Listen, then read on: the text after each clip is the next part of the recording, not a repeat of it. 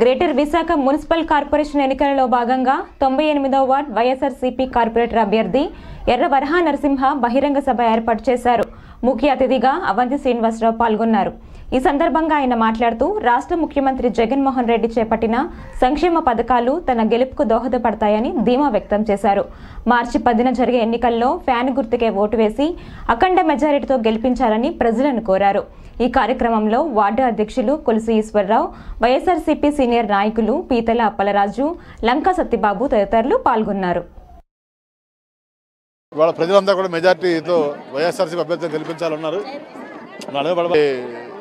ఎక్కడికి వెళ్ళినా కూడా ప్రజలు స్వచ్ఛందంగా వస్తున్నారు. వాళ్ళకి హర్షాన్ని ఆమోదం తెలియజేస్తున్నారు. తప్పనిసరిగా అత్యధిక స్థానంలో గెలుస్తాం. మేరీపేటను కవిసం చేసుకుని జగన్మోహన్ గారికి బహుమతికి ఇస్తాం. ఒక్క నిమిషం.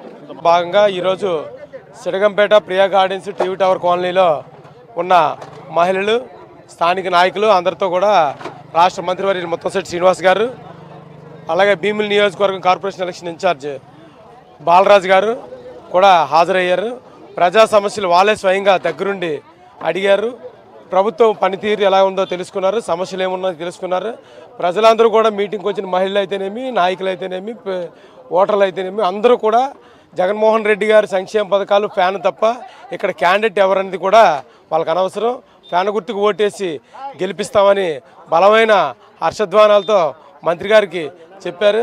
అందువల్ల మేము ప్రచారంలో ఏ వీధికి వెళ్ళినా అందరూ కూడా జగన్మోహన్ రెడ్డి గారి సంక్షేమ పథకాల్లో ఏదో ఒక పథకంకి వాళ్ళు అర్హులై ఉన్నారు. అవన్నీ వాళ్ళ అకౌంట్లోకి స్వయంగా వస్తుంది. దళారీ వ్యవస్థ లేకుండా గత ప్రభుత్వంలో లాగా దళారీ వ్యవస్థ లేదు కాబట్టి ప్రజలందరూ సంతోషంగా ఉన్నారు. ఇలాగే మా ప్రచారం ముందుకు దూసుకెళ్తున్నాం. అలాగే ఖచ్చితంగా కూడా ఇంకా పెందుర్తి నియోజకవర్గం కూడా మా తొంభై ఎనిమిది వార్డు పరిధిలో ఉంది. అక్కడంతా ఎడ్యుకేట్ ఓటింగ్. అదంతా నిన్న మొన్న ప్రచారం చేసాం వాళ్ళందరూ కూడా అభివృద్ధి రెండున్నర కోట్లు ఎట్టి చేసి అక్కడ పార్కులు నిర్మించడం జరిగింది. రోడ్స్ డ్రైనేజ్ ఏర్పాటు చేయడం జరిగింది. వాళ్ళకి అది కావాలి పేదవాళ్ళకి సంక్షేమ పథకాలు. ఈ రెండు కూడా రెండు కళ్ళులా జగన్మోహన్ రెడ్డి గారు మాకు అందజేస్తున్నారు కాబట్టి మేము ఫ్యాన్ గుర్తుకే ఓటేసి మేమే గెలిపిస్తాను వాళ్ళే స్వయంగా చెప్తున్నారు. మేము అడగకముందే అందువల్ల మేము ప్రచారంలో చాలా సంతోషంగా గెలుపు ధీమాగా మేము ఉన్నామని ఈ సందర్భంగా తెలియజేసుకున్నాం.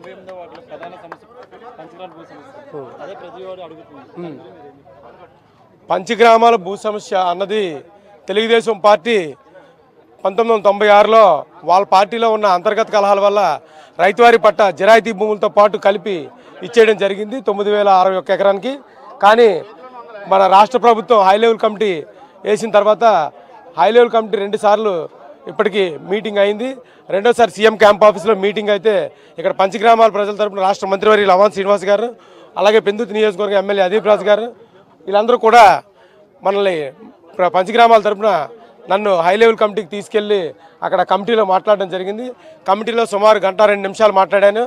ఆ మాటల్లో నేను ఖచ్చితంగా జిరాయితీ భూముల్లో ఇల్లు నిర్మించుకున్న వాళ్ళకి అలాగే జిరాయితీ భూముల్లో లేఅవుట్ వేసిన వాళ్ళకి సపరేట్గా టూ సెవెంటీ ఫైవ్ కొండ పోరంబోకులో ఇల్లు నిర్మించుకున్న వారికి ఎక్కడి నుంచి వచ్చారో వాళ్ళకి ఆక్రమదారుల కింద గుర్తించి వాళ్ళు ఒక విధంగా రెగ్యులరైజ్ చేయమన్నా రైతులకు ఒక విధంగా రెగ్యులరైజ్ చేయమని మేము చెప్పడం జరిగింది కమిటీ. ఇంకోసారి కమిటీ మీటింగ్ విశాఖపట్నంలో పెడతామని చెప్పారు.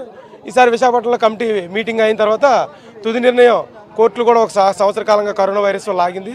కోర్టు పర్మిషన్తో లీగల్గా ప్రజలందరికీ ఆమోదయోగ్యంగా దేవుడికి అన్యాయం జరగకుండా పంచగ్రామాల భూ సమస్యలు పరిష్కరిస్తారని మేము పూర్తిగా విశ్వాసంతో ఉన్నా. ఖచ్చితంగా పరిష్కారం జరుగుతుంది. పంచగ్రామాల భూ సమస్య అన్నది స్టేట్ వైడ్ పాలసీలో కమిటీ డెసిషన్ తీసుకుంటుంది కాబట్టి అది ప్రధానంగా నేను సమస్య పరిష్కరించేది కాదు కాబట్టి దానికోసం ప్రయత్నం చేస్తాను. అలాగే ప్రధానంగా మా సమాచారం తీసుకుంటే నియోజకవర్గంలో పుష్కర్ణిలో చాలా ఇబ్బంది ఉంది. పుష్కర్ణి అంతా వాకింగ్ ట్రాక్ ఏర్పాటు చేయిస్తాను. అలాగే బీఆర్టీఎస్ రోడ్డులో నష్టపరిహారం ప్రస్తుత రేట్ల ప్రకారం లేఅవుట్ వేయించి ఇల్లు కోల్పోయిన వారికి స్థలం కోల్పోయిన వారికి వాళ్ళకి ఇప్పించే ఏర్పాటు చేయిస్తాను. అలాగే తొంభై ఎనిమిదో వార్డు పరిధిలో పదివేల జనాభాకి శ్మశానం లేదు. ఆ శ్మశానం ఏర్పాటు చేయడానికి జీవీఎంసీ వారి ద్వారా కలెక్టర్ గారి ద్వారా మంత్రి గారి ద్వారా ప్రయత్నం చేస్తాను. అలాగే ఒక పద్మావతి నగర్లో ఒక స్థలం ఉంది. ఆ స్థలంలో టెంపుల్ నిర్మించడానికి ప్రయత్నం చేస్తాను. నాకు ప్రధాన సమస్యలు నేను చేయగలిగేవి ఐదు పెట్టుకున్నాను. ఆ ఐదు కూడా ఖచ్చితంగా నెరవేర్చడానికి నా వంతు కృషి చేస్తానని సందర్భంగా తెలియజేస్తున్నాను.